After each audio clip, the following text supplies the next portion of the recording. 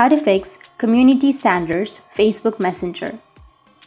So if you want to fix the community standards on Facebook Messenger, then what you need to do is first you need to open up your Google, make sure that you have a stable internet connection. After that, go with search and search for Facebook community standards.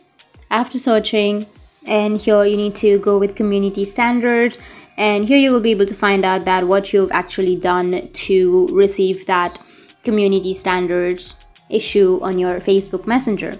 So if you've shared something or something like that, then you'll be able to see the problem right here. So if you don't find any problems or if you don't find anything that you've done, then what you can do is you can just simply go and submit a ticket.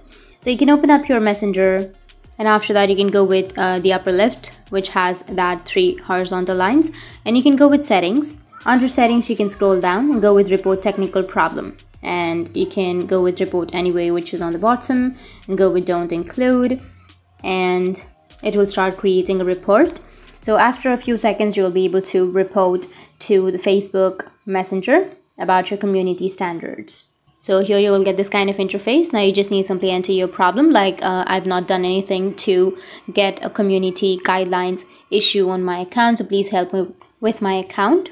Help me to recover my account and after that send. And after sending your problem might be fixed.